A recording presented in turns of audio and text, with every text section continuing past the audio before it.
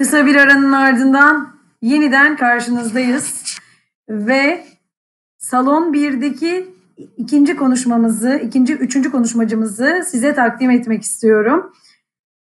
Kazancı Holding BT Group Müdürü PMO Yazılım Geliştirme ve İş Zekası Kazancı Holding'den Hülya Çavuş. Sunumumuzun adı enerji sektöründe dijital projeler.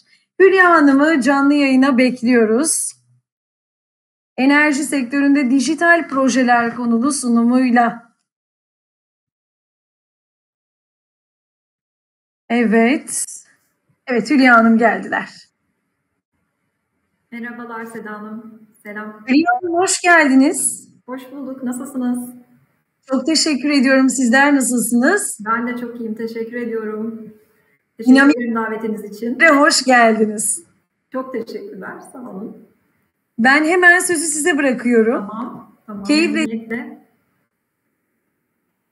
E, açıkçası e, bir proje yöneticisi olarak e, böyle proje yöneticisi ağırlıklı bir grupla olmak benim için e, bir arada olmak büyük bir mutluluk ve ayrıca heyecan verici de. E, çok da güzel sunumlar dinledik bugün. Hem teknolojinin gittiği yön, dijital dönüşüm, e, şirketlerin buna uyum sağlama süreçleri, agile metodolojiler, e, tipik e, proje yönetim süreçleri gibi çok farklı ve katma değerli konuşmalar oldu. E, tüm e, konuşmacılara da bu anlamda teşekkür ederim. Ben de çok faydalandım açıkçası. Ben de bugün enerji sektöründe çalışan bir e, bilgi teknolojileri çalışanı olarak aslında bu sektörde ne gibi e, pratikler uyguluyoruz, dünyamızda neler var, dijital dönüşümün neresindeyiz biraz bahsetmek istiyorum. E, şu sunumu açayım.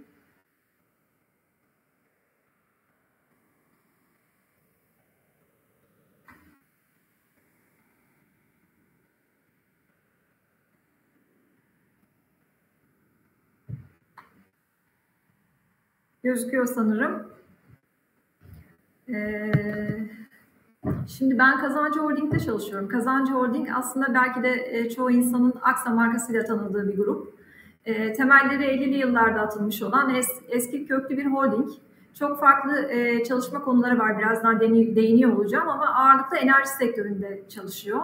E, 4 farklı kıtada üretim yapıyor, enerji üretimi. 21 ülkede faaliyet gösteriyor. 173 farklı ülkeye ihracat yapıyor ve e, toplamda 8500'ün üstünde bir çalışkan çalışan kitlesine sahip büyük bir holding, büyük bir organizasyon aslında. E, ben de bu organizasyon içinde merkezi bir IT yapılanmasının içindeyim. Bizde yaklaşık e, %150 arası danışman kadrolarla ve proje bazlı değişiyor. 150 kişilik bir e, IT e, kadrosuyuz diyebilirim. Ee, Kazancı Holding ve Aksa markasında belki de en bilindik olanlar e, çoğumuzun da tanıdığı Aksa Jeneratör olabilir diye düşünüyorum. Çünkü Aksa Jeneratör Türkiye'nin e, en lider firması e, jeneratör sektöründe. Dünyanın da en büyük 5 jeneratör üreticisinden biri. Aksa Enerji keza halka açık en büyük serbest elektrik üreticisi. E, Aksa Elektrik ve Doğalgaz'da e, elektrik ve doğalgaz alanında Anadolu'da pek çok il, ilde e, dağıtım yapan perakende satış yapan şirketler grubu diyebilirim. E, ve onun dışında tarım ve turizm gibi daha yenilikçi, daha farklı e, deneysel e, çalışma konuları, konuları da var şirketin. E, bu anlamda da inovatif, inovatif bir grup olduğunu da söyleyebilirim grubun. E, bu şekilde ufak bir şirket tanıtımıyla başlamış olayım. E, aslında belki de bu tarz etkinliklerde daha çok bankacılık, finans, e, sigortacılık, e, ve telekom gibi sektörlerin IT organizasyonları ve e, PMO yapıları belki daha çok gündeme gelmiştir. E, bu da çok normal, e, belli bir olgunluk seviyesine gelmiş aslında bu organizasyonlar. Ama açıkçası bu sektörlerin yanında enerji sektörü de e, gerek regülatif yapısı, biliyorsunuz e, Enerji Piyasaları Düzenleme Kurulu, EPDK'ya tabi enerji sektörü, e, gerek devlet teşviklerinin artmasıyla e, pot, e, pot, proje üretim potansiyelinin artması gibi Hülya Hanımcığım. Efendim. Hülya Hanımcığım e, lafınızı balla kesiyorum ama sunumunuzu biraz büyütmeniz mümkün mü acaba ekranınızda? Tam Rica etsek. Ama. E, çünkü biraz küçük görünüyor şu anda. Tam ekran yapabilirseniz çok sevinirim. Şu anda tam ekran olduğunu söylüyorsunuz ama biraz daha büyük olursa en azından tam ekran hmm, bakayım olması mümkünse. Niye böyle oldu acaba? Bir anlamaya çalışıyorum. Ortam Online etkinliklerde yani. olabilecek şeyler bunlar. Aynen öyle. Tam ekranım ama Maalesef bu şekilde, bu kadar. Tam ee, şu anda ekrana yansımadı. Bir yansırsa pardon, acaba, pardon, bir yansıtırsanız ben bir göreyim isterseniz. Tabii tabii, kapatmıştım. Arkadaşlarımız da görsünler rejideki. Böyle bölmeyi hiç istemiyorum ama... Yok, e, tabii ki. Yoksa.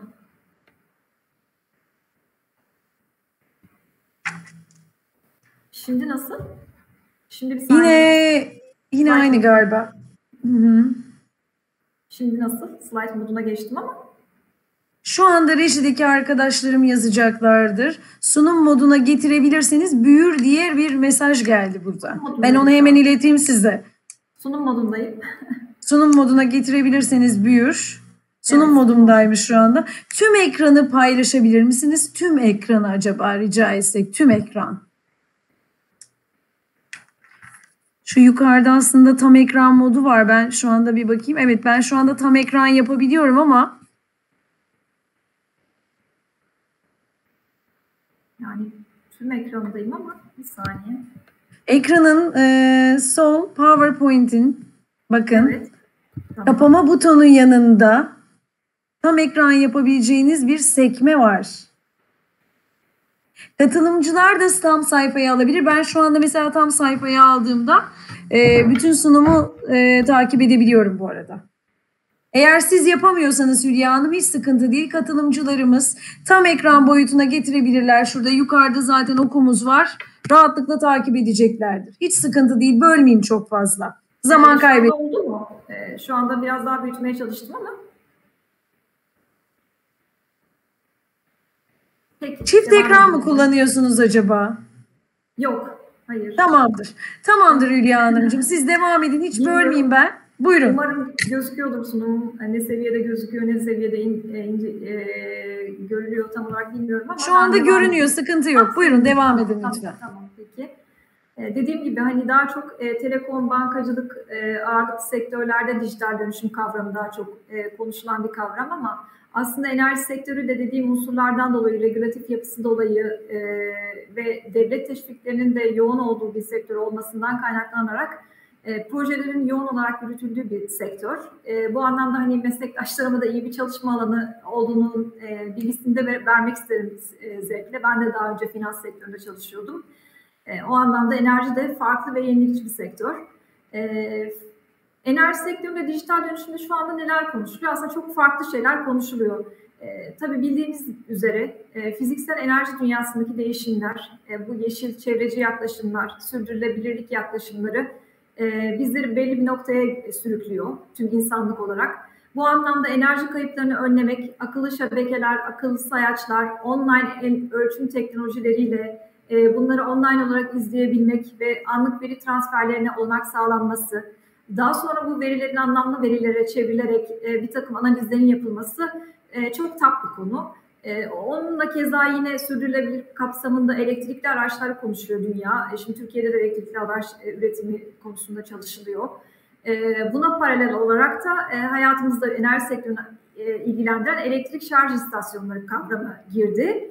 E, bu anlamda hani Aksa Şarj'ın da pek çok diğer enerji şirketi gibi e, uygulaması var. Bu tüm bu projeler ve dünyamızdaki değişiklikler, dönüşümler, dijital dönüşüm iş biriminin e, IT'ye yapmış olduğu bir e, bildiğiniz üzere e, ihtiyaç ve bir kapsama sebep oluyor. Hepsinin bir IT altyapısı oluyor.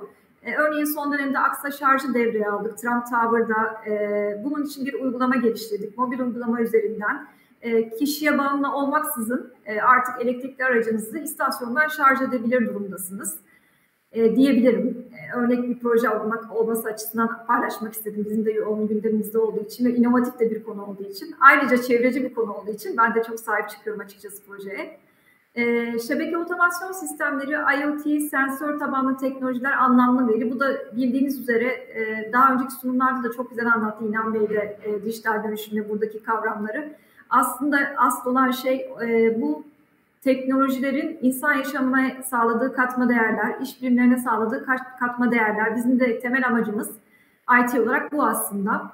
E, buradaki IT ve e, IoT ve sensör verileriyle aslında e, örneğin e, bir tüketicinin elektrik sektöründeki bir kitlenin diyeyim veya bir ilin veya bir herhangi bir kırılım düşünebilirsiniz tüketiminin önceden tahminlenmesi, ona bağlı olarak fiyatın tahminlenmesi, ona bağlı karar destek mekanizmalarının bu tahminin ardına e, konuşlandırılması aslında çok önemli ve hani sektörün e, olmazsa olmaz bir standardı oldu artık. Bizim de bu anlamda bir iş ve analitik ekibimiz var. Hem raporlama e, çalışmaları yapıyorlar. E, çok sevilmeyen o raporları daha self servis bir hale getirdiler. Hem de dediğim gibi tahminleme ve analitik tarafında ve önleyici bakım tarafında e, çeşitli analitik çalışmalar yürütülmekte. Bu da zaten hani ben de söylemiş olayım tüm sunumlarda geçtiği gibi verinin ve veriden değer yaratmanın bir hikayesi. Bizim için enerji sektöründeki hikayesi de bu. Ee, yeni nesil mühendislik çalışmaları ve Endüstri 4.0 yine e, enerji sektöründe konuşulan bir kavram. E, üretim e, söz konusu olduğu için özellikle bizim e, jeneratör üretimi yapan fabrikalarımız da olduğu için Endüstri 4.0 bizim için de bir konu. Üretim hattının e, belli bir standartın Endüstri 4.0 standartına taşınması anlamında. Ee, biraz önce de bahsetmiştim. Regüle bir endüstriyiz. Dolayısıyla hani şikayet ve talep yönetimi çok kritik bizim için. EPDK Direkt de bunları çok iyi bir şekilde denetliyor. Çok periyodik olarak denet, denetliyor. Ee, bu anlamda müşterileri mutlu, et, mutlu edecek, mutsuz etmeyecek bir şikayet geldiğinde çok kısa bir zamanda tehlikeli de bir konu olduğu için bu elektrik ve gaz dağıtımı e, aksiyon alınmasını sağlayacak mekanizmaların e, sahaya uyarlanması ve müşterinin hizmetine sunulması çok çok kritik. Bu anlamda da IT'nin önemi çok yüksek diyebilirim. E, yeni nesil RPA teknolojileri yine İnan Bey bahsetti. Robotic Process Automation bütün sektörlerde olduğu gibi enerji sektörüne de e, giriş yaptı. E, insanların bazen, çalışanlarımızın bazen e, külfet olarak gördüğü pek de sevmediğimiz katma değersiz işleri artık RPA ile yapmak bizim de nihai hedefimiz. Hem operasyonel anlamda hem de maliyetleri düşürmek anlamında diyebilirim. E, onun dışında siz de bir elektrik e, tüketicisi olarak hayal edebilirsiniz. E, bir tüketici olarak, servis servis olarak webten ve mobilden online müşteri çözümlerine ihtiyacımız oluyor hepimizin. E, yandaki görsel de biraz onunla ilgili. Her gün e, bu online servis servise yeni bir fonksiyon seti eklemek hani bizim yine e, roadmap'imizde olan bir konu. E, mobil saha çalışan uygulamaları artık çalışanların sahada bazı işlemleri tabletlerle yapması, e, bulundukları ortamda yapması kaçınılmaz bir e, dünya gereği, dünya gerekliliği oldu. Bu anlamda da e, yoğun projeler üretilmekte. Siber güvenliği de zaten ayrı bir kapsam olarak yazmak istedim. Her sektörde olduğu gibi e, bizim sektörümüzde de önemli, e, olmazsa olmaz konulardan bir tanesi. E, biraz şirkette yürütülen projelerden bahsedeyim bu genel konuların dışında.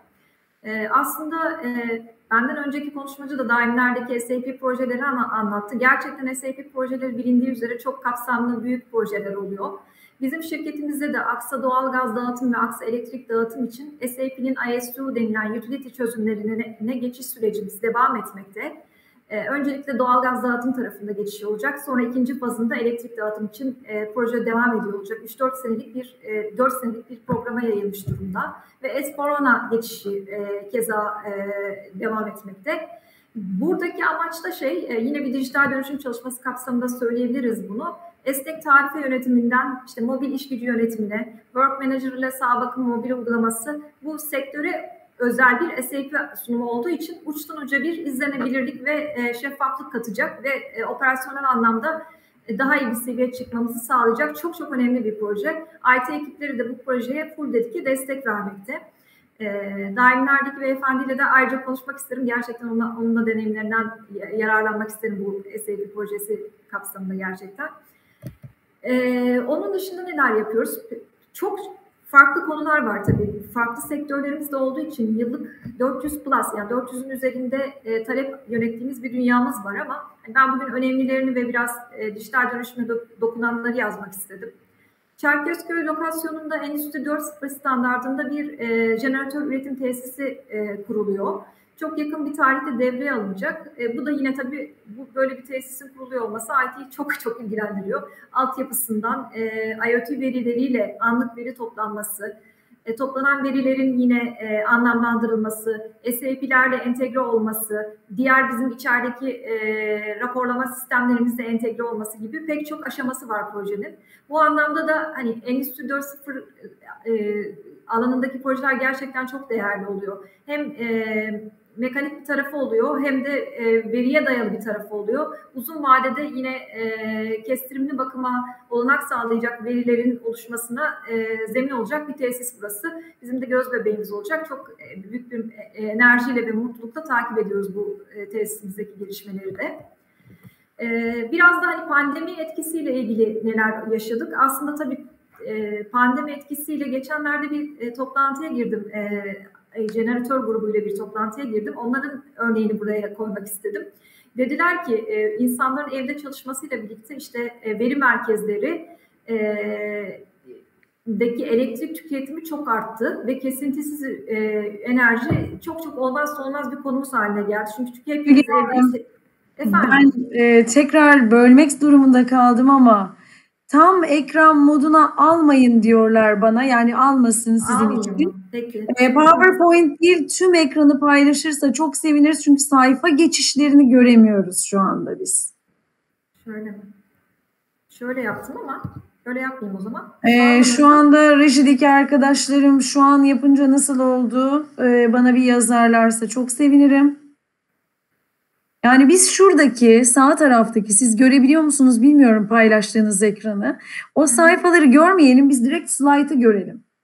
Ee, öyle istiyoruz aslında ama şimdi ben kapattım onu. Sunum modunu almıştım.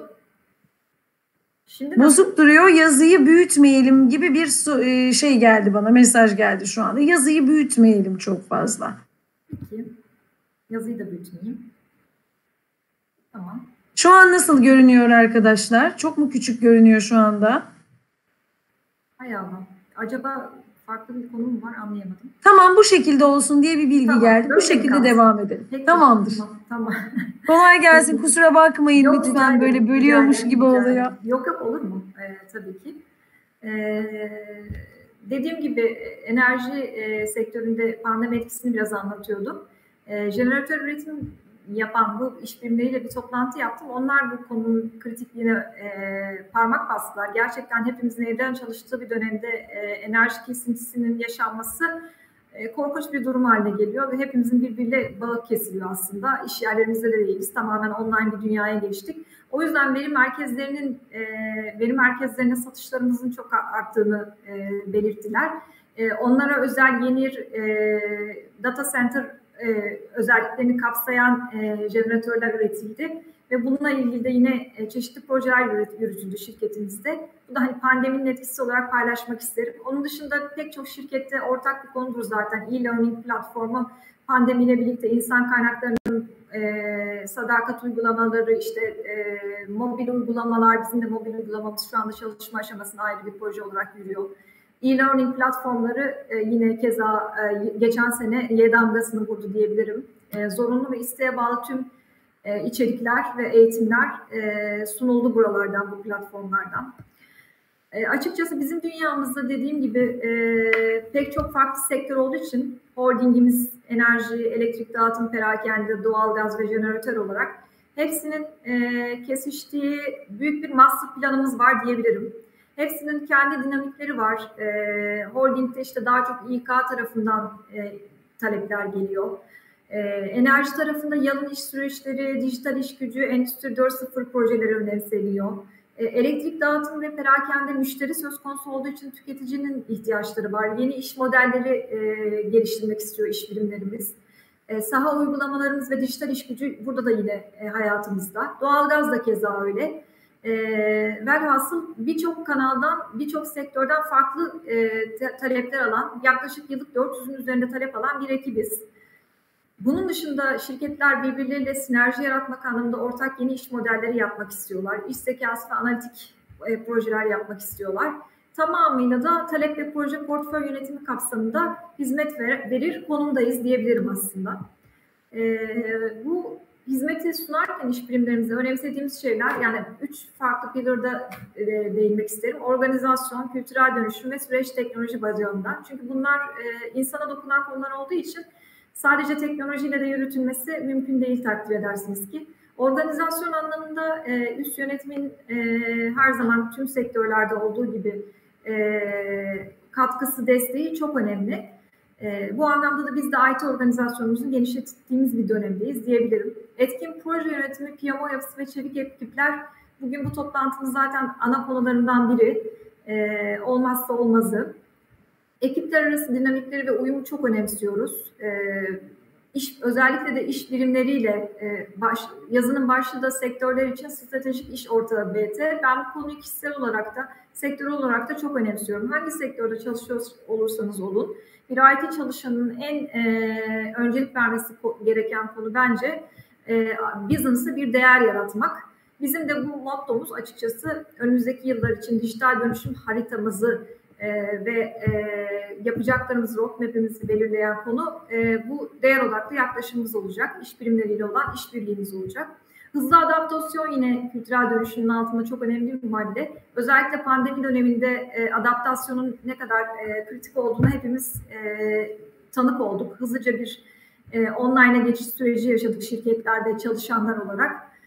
E, süreç ve teknolojide de yine e, bizim de hazır platformlarımız var. E, SharePoint gibi işte veya EBA gibi hazır e, BPM tool'larımız var veya onun dışında SAP ortamlarımız var veya .NET teknolojileriyle yazılmış e, mobil uygulamalarımız ve e, web uygulamalarımız var.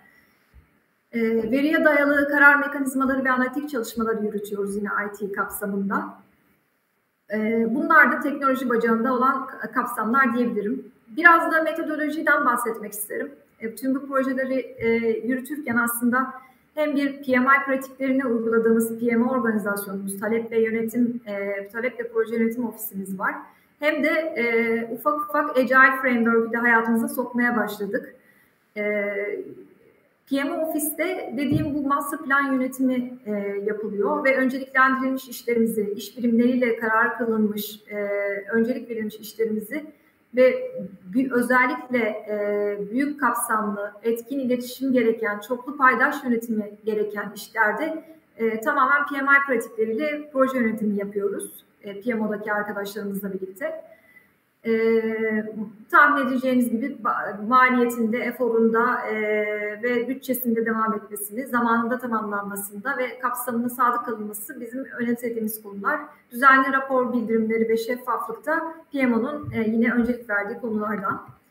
E, Agile Framework olarak da şunu söyleyebilirim. Agile'da da e, aslında bizim e, daha ufak çaplı, daha orta ölçekli diyeceğim, daha operasyonel işlerde bir Kanban backlogumuz var. E, bir de Scrum Backlog'unda tuttuğumuz özel işlerimiz var. E, Kanban e, ve bu Agile yaklaşımda özellikle yine bugün değinildi e, Agile e, dönüşüm e, seansında da değer odaklı ve yatay organize ekipler yani işine sahip çıkan, işini kendi götüren bir kompakt ekip ruhunda olan, e, kendi kendine yetinebilen cross-functional dediğimiz bütün organizasyondaki ihtiyaçları ekibin içinde karşılayabilen bir yapıyı hayal ediyoruz ve hayata da geçiriyoruz bazı projelerimizde. Ee, hangisini kanban yapıyoruz, hangisini istikram yapıyoruz derseniz daha çok regülatif iş zekası çalışmaları. Çünkü bunlar işte e, belli bir e, çılgın bir deadline olan, e, yakın deadline olan ve iş birimiyle çok omuz omuza çalışmanız gereken e, projeler oluyor veya ürünleşmeye uygun yine e, iş birimiyle bir product owner'ın bakış açısında etkileşimin e, yüksek etkileşime ihtiyaç duyan projelerde yine Scrum metodolojisini e, uyguluyoruz. E, analitik tarafta dediğim gibi yaptığımız ve iş zekası tarafında yaptığımız bu kompakt çevik ekiplere veri bilimcilerini, veri modelleme, veri görselleştirme uzmanı, iş analisti ve iş bilim temsilcisi product owner şapkasıyla dahil oluyor. Dolayısıyla hani kendi kendine yetebilen, kendi kendine e, işi kotarabilen, baştan uca bir işi teslim edebilen ekipler sprintler halinde çalışıyor bizde de. E, benim anlatacaklarım bu kadar. Ben de biraz hızlı anlatmış olabilirim. Umarım anlaşılır olmuştur, faydalı olmuştur. Hülya Hanım çok teşekkür ediyoruz. Zamanı çok doğru yönettiniz. Öncelikle bir tebrik etmek istiyorum. Hiç hızlı değildi. Tam zamanında ve tam netti her şey. Çok çok teşekkür ediyoruz. Sizi sevgiyle, saygıyla uğurluyorum. Sağ olun. Çok teşekkürler. Çok teşekkürler. Değer kattınız. Çok teşekkürler.